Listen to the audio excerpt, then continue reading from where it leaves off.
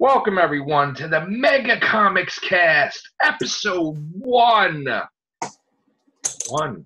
I am your host, Matrix Lord two one two, and I'm with Scott, the blind dyslexic. Hello, all to the MCC. That's right. So, always wanted to do the third main cast. We have the Real Hooligans cast, we have the Everything Show, and now we have the Mega Comics cast. And what better debut episode than to show off Dun, dun, dun. all the Amazing Spider-Man 800 covers Mhm. priced at nine ninety nine. Keep that in mind. They're nine ninety nine each. Nine ninety nine. That's worth a lot What's of that backwards, hours. folks? Nine ninety nine. Nine ninety nine. That's worth a lot of hours to get these. So I know people are going to be counting. So let's go. This is the main cover. We know that by Dan Slott. That is just. I still. Yeah. I know you. I know I've seen it before. I probably said umpteen dozen times. They should have did that in felt. I'm sorry. That would be the perfect one to do in felt. And That or black or black light. get the um. Maybe I should turn this a little bit because we're getting a glare, right? Oh, Yeah. this is a bag. That's why. All right, so we got this cover, which is pretty awesome. And I'm gonna have to make room here because I want to make sure that we get all of them. Move my water on the ground there. Okay. So again, ten dollars. You read long $10. time. Ten dollar. More ten dollars. Then we have this one, which I think Oh we showed before, which I really like. yes. Okay. They are really. This is really good. Been great with a holographic card with somebody with a random holographic card to me. But yeah, that's what they should have did with that one. Then we have this one, which we showed this before. Nice. And again, I mixed them in from the ones I showed. I got last time and the ones I got today. That would I have been a great holographic cover if you bent it one way. And pardon the pun, but I'm- you, you bend it one way, you see one thing, you bend it the other, bend it back. Yeah. Then we have the Mark Bagley one, which I'm a big fan of Mark Bagley, the way he draws stuff. Ooh, that is nice. So, the interesting thing about these books, and we're going to do some spoiler territory in here, we're probably never going to see the Red Goblin again. This is a Um, one shot. It's basically a one shot deal. In other words. I mean, we'll I'll just explain, and then look at this one. This one is just ooh, nice. really nice. Yeah, You know, that would have been good i i if they had a fold. If that was a fold out, or even on the back cover, we saw sort of either the back end of uh, Spidey. That's what they should have done with that one. They should have set up a sort of like a double cover. yeah. front in one way, and then when you, and on the back cover, you've got it the from the opposite direction. And of course, I love Gwen Stacy. so Oh, we that's a good one. Yes. you know, we have that one. Now, keep in mind, everything I'm showing you is more than this. In Mm. fact, I, you know, you have to have a bigger budget to get more. This is, and keep in mind, they reach ten dollars. Oh, there's a classic re- relook. Nice. And I love the fire from the mouth. That's that even that adds to it. Yeah. So, thank God they're not ten dollars all the time. Yeah. Um, he's wearing the, the Venom symbiote battling Yeah. because that's happened in the comics, battling the Red Goblin, which is Norman Osborn and Carnage. Yeah. Read this Mm. one. Nice. I know they need a plain Jane one, but that looks. I know, and then we have another plain one. I mean, there's some plain ones. You know, this Yeah. is what they wanted to do. This one, you'll probably like, Ooh. Looks like it's on fire in a way. right? He looks really good, right? With the webs. Looks like the webs, right? This one. what would have been cool, what, they could be cool is even though he took over uh, as the Red Goblin, it would be kind of neat to have have sort of like a split thing to where you have Mm. Spider-Man on one side, but yet have a Red Goblin-esque type uh, Spider-Man face on the other. And then we have the Mobius cover, Ooh, nice. you know. Okay. Then we have the pure white color. Just that's it. Okay. Again, not easy to get all of them. I'm gonna show them quickly. Yeah. One, two, three, four, five, six, seven, eight, nine, ten, And eleven, twelve, wow, thirteen. 14. 14. Okay, so this is not all the covers, and this is what I'm talking about, where you know you're gonna bankrupt some people. Mhm. Now I know once in a lifetime this is, or once in a while you have a villain debut with some. No other villain in Marvel history has had this many multiple covers um, at one time. Um, this is not all of them. These are the regular priced ten dollar ones. Ten dollars each. There are other ones that are hundreds and hundreds of dollars. In fact, you know, I laid it out on the bed, it looked like I was missing one.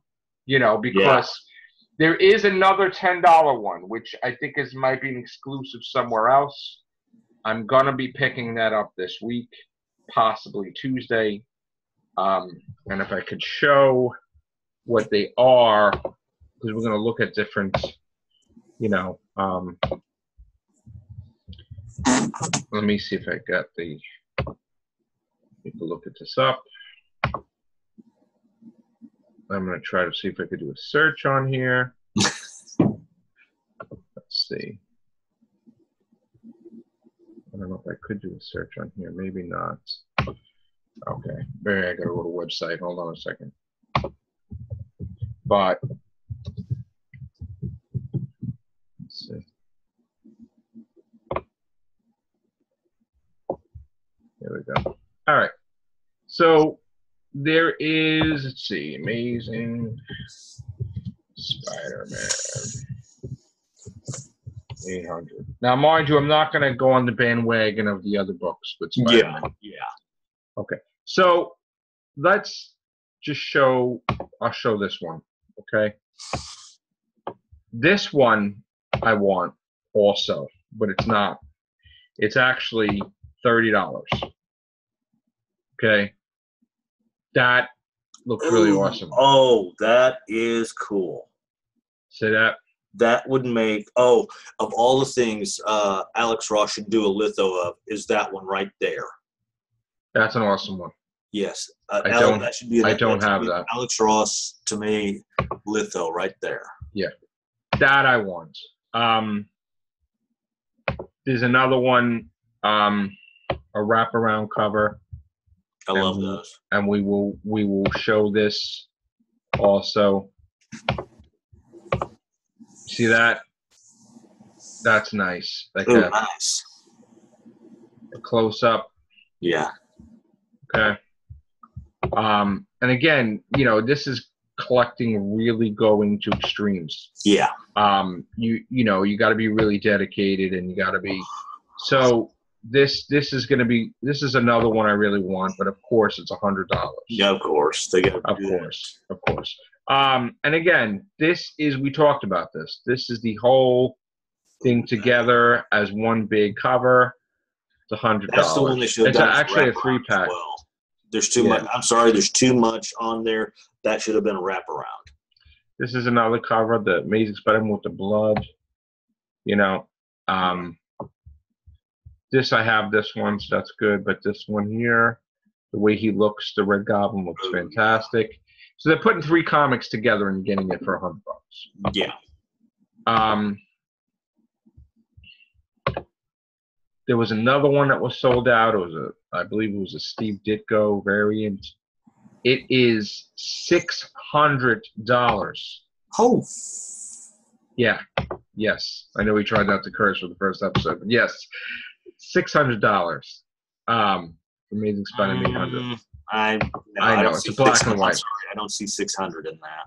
Right. We also got a I even if it was guess colored, even if it was colored, I don't see six hundred in that. we have a hundred and twenty-five dollar version of just Mary Jane that they're just making it like a thing, you know, showing off her, you know, stuff there. Yeah, That's you know, I mean, you, I mean, when you put it all together, the amount of covers is just.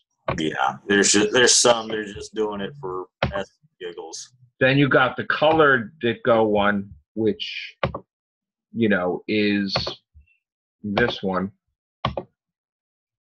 which is, you know, reminds me of the the cartoon. Like I said, still, I don't see them asking that amount. Well, this one's two, almost two fifty, basically. but still, still, Yeah, I know. If it was if there was something like monumental where it sticks out, I could say I'd say yeah, sure. But if it's just like, oh, I'm here on the wall, no, no. Right. It has to be something real special for me to fork over two hundred bucks or Exactly. bucks. Exactly. I mean, i it's you know, um, In other words, if it, if if they had set this thing up, oh, this is going to be a one shot, uh, totally separate from all the other. this is uh, twenty five bucks too. I mean, this is you know, mm, okay. you know, again, I mean, Plain Jane. But like I said, if it's going to be like a one shot comic, uh, unlike all the other ones, totally separate, with a special cover, fine. But if it's just going to be like, oh, here's a variant cover f with number 20, let's just say issue 25. Uh, with Right. No, uh-uh. Yeah. Um, just trying to see. Is. Just trying to see if there's any other ones, and then we're gonna show up the um 801, which is coming out this week. All right, so that's pretty much that for 800.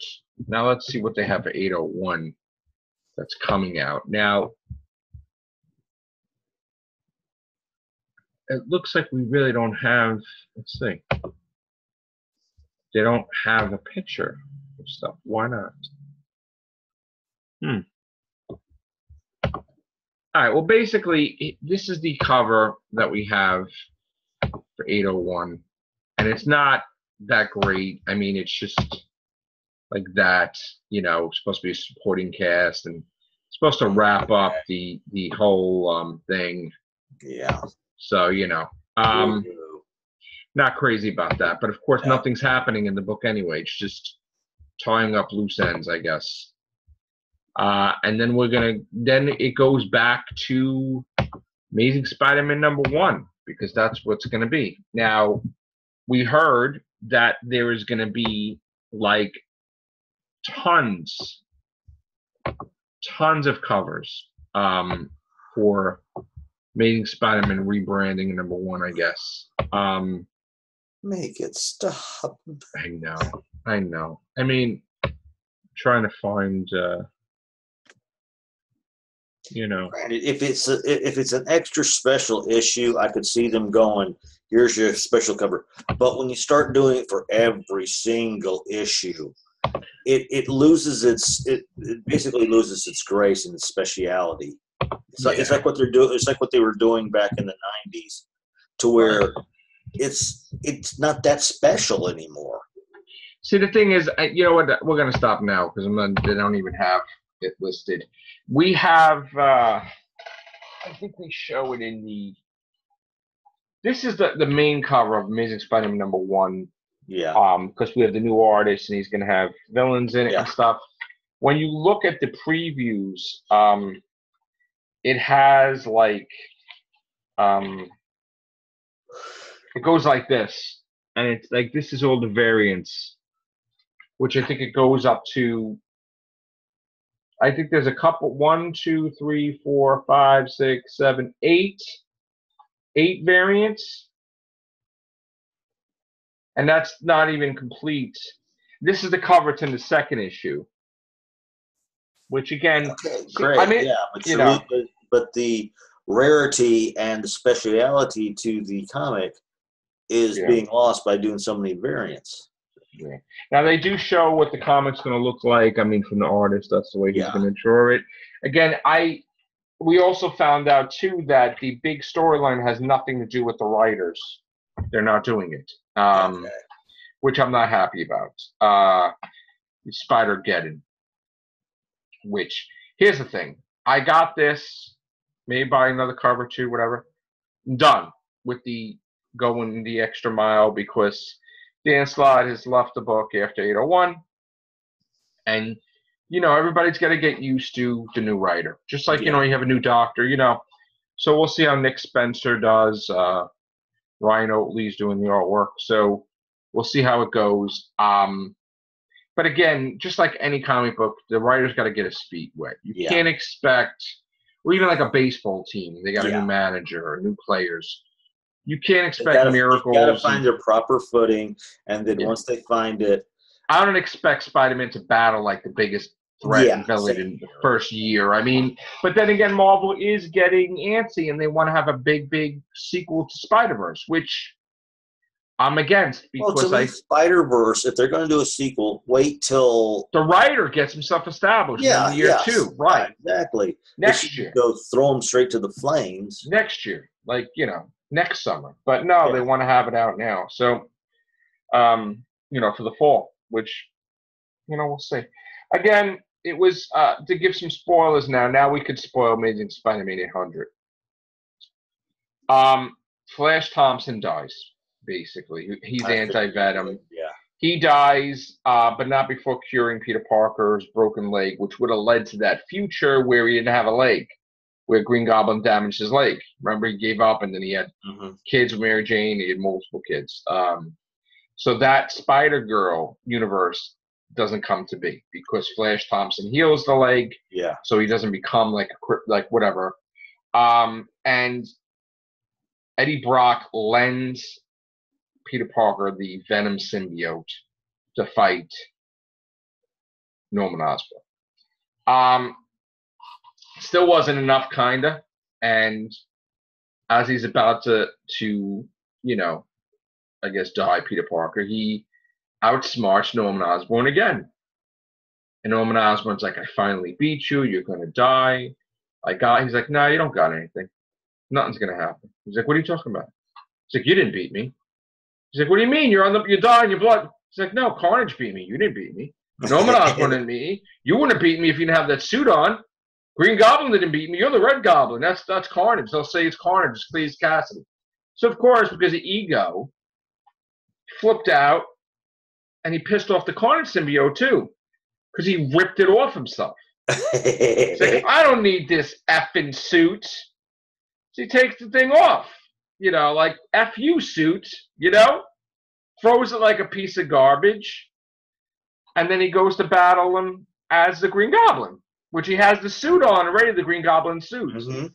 They just had the symbiote over the Green Goblin. Yeah, exactly. So, and then things happen where you know they tried to every the team tries to damage the Carnage symbiote, and I guess the Carnage symbiote tries to bond again with Norman, and because of the Sonic and all the different things, the costume almost gets destroyed, but Norman Osborn gets a shock because he experiences all the pain of the symbiote, and the symbiote doesn't experience it because it just, you know, because it was trying to bond with him, so it Yeah. gave him the pain. So it makes him basically lose his effing mind that he's already lost his mind, but now he got such a shock in the head that he has no idea he's Norman Osborn anymore. Oh God. He's confused and he believes that he's Cletus Kasady. So his mind is wiped of being Norman Osborn and everything that Norman Osborn does and everything, whatever, because the symbiote and the symbiosis and the connection screwed up his brain. So he is completely empty of being Norman Osborn. And he thinks he's Cletus Cassie. He thinks he's Con, you know, whatever. He thinks he's he thinks he's um what did he say? Because they did what they the one thing I didn't like, but Dan Slott did the whole Batman Forever ending, where Norman Osborn's in the um, you know, the uh, Yeah. like Arkham Asylum type of thing, and then Peter Parker wants to see if he knows that he's Spider Man, and he says, um, that he he's like, you know, uh, Spider-Man's Carnage or Spider-Man's Cletus Cat, something like something crazy, and he's like, oh, he's out there, he's done, he's dead, like Norman Osborn dead, but whatever. And to top it all off, Cletus Kasady is really alive, held because they think he's going to turn into Carnage. They want to use him, so they're going to rebond Cletus Kasady with Carnage at some point. Yeah. Um, you know, and Eddie Brock is with Venom, and the anti-Venom thing is dead. Um, the thing that they also had was that the Red Goblin had made Normie Osborn a Red Goblin kid. So he had a symbiote thing in him. And Liz Allan, who runs Alchemax, which, if, if you know, in Alchemax in 2099 is that company. But we find Mhm. out that basically Norman Osborn created this company with a different face. And now Liz has it. And she's getting back together with Harry. And Harry has little Normie. He also has Stanley, which was from his other wife that became uh, Menace with the Goblin formula. She went crazy and she became like demonic and she died. So he has two children. Uh, Norman, little Normie is older, but now him and his father are bonded. He's not trying to bond with his his uh, grandfather anymore because the grandfather almost killed his mother and he got upset and he almost killed his father. So um, they went, they put him inside this thing, like which was like an MRI, and basically they thought they got everything, but there was a little glimmer in his eye, meaning that the Red Goblin thing, Yeah. he could become a Red Goblin thing when he's 20 or something. Maybe. You know, I mean, they, they may bring a Red Goblin back if Normie becomes evil, Yeah. possibly. And, you know, basically, you know, Norman Osborn's like a bottom, like dumb vegetable thinking he's Cletus. So I don't know if he's going to ever fix himself, but we're probably never going to have the Red Goblin again unless Little Normie is because he's basically too hard to beat. He's impossible. He doesn't have the weaknesses of the symbiote because mixed with the Goblin formula, he's unstoppable. And he basically almost killed Miles Morales, Silk, everybody. And thank God, you know, uh, Flash Thompson has a healing thing, heal Yeah. everybody.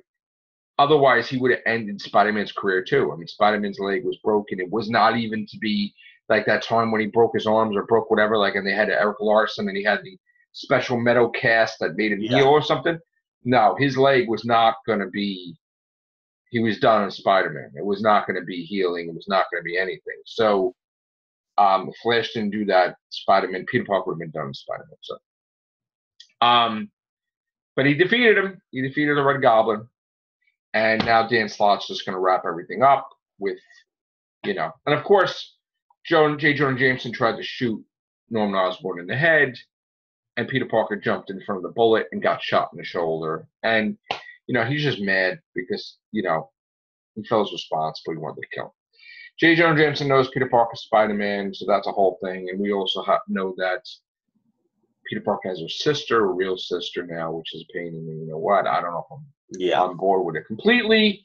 But anyway, I, I just wanted it. Now it's been enough time for Amazing Spider-Man 800 to go out there, so that was spoilers. And again, um, there's not going to be probably a comic to come out for a long time that's going to get my attention. Like this is, this is a once in a thing, Yeah, once in a while thing. I mean, it's t- it's ten dollars, and and the odds are, you know, a special storyline like this is not going to happen for a while. No. So I enjoy it while I can. And I just get my regular comics for now. um, but you know, we had fun. We had fun with getting all the Red Goblin stuff. You know, uh, I am looking forward to Dan Slott taking over Iron Man. Nice. From Spider Man, he takes over Iron Man, and he takes over the Fantastic Four. Which, if you wanted to get Fantastic Four covers, because remember we didn't like this one, yeah. they created like 21 covers for August, all Fantastic Four that we went over Yeah. in the Everything show. And um, I don't know if I'm gonna, you know. So Dan Slott's now got the keys to the kingdom to Fantastic Four and Iron Man. Now, got Mary cross our fingers that uh, Comcast does not go with that 20th Century Fox does not go with Comcast. So Yes. We really want the MCU to get, yes, you know. And speaking, you know, because it's related, uh, Venom looks like, according to um, Woody Harrelson, he hinted that Venom 2 is a possibility it's going to happen because he's going to be the main part and Carnage probably in Venom 2. Oh, okay. I mean, he appears in Venom 1 as Carnage probably at the end, and he'll be. And again, if there's a third one, it's going to be all the symbiotes, yeah, you know, from that storyline where there was like five different symbiotes. So that would be like if there was a trilogy, which usually people have trilogies in mind. yeah. Nowadays they do three years. So I hope you enjoyed the Mega Comic Cast. Thank you, Scott. You're welcome. We got to get Chris on here too one day. All right, there'll be more. So enjoy, guys. Please like, please subscribe. Notifications And- By on. the way, uh, part three of alternate route is now on the blind dyslexic cliffhanger page. So Check him out. We'll put a link in the description below. Um, and if you guys want to have any questions, shoot me a question. If you guys are interested in anything with the comics, send us a message. We'll we'll review it on air. The next time we have a mega comic cast, and um, we'll talk about some stuff, maybe some movies and TV and related comic. Well, we're into the comics. All right, guys. word to the comics. There you go. Take care. Bye for now.